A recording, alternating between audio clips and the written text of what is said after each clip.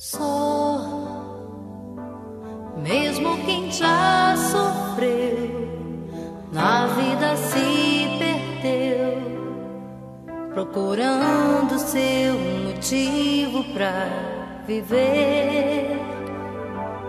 tentando se acertar,